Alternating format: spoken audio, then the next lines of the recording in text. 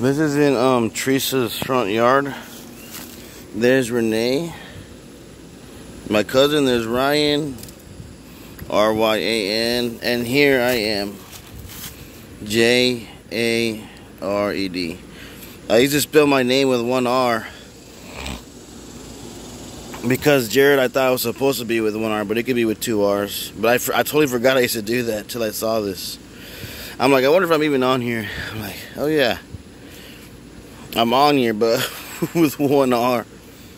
It's because uh, I used to spell my name with one R because I'm like, my parents misspelled my name. But like, you could have it, you could spell a name any kind of way, you know. You know, and you could, but you just got to pronounce it, or at least relative to the name. You know what I mean? Like, even Home Depot, you know, one of the letters is silent, but it's just weird. Like, the English language is weird, though.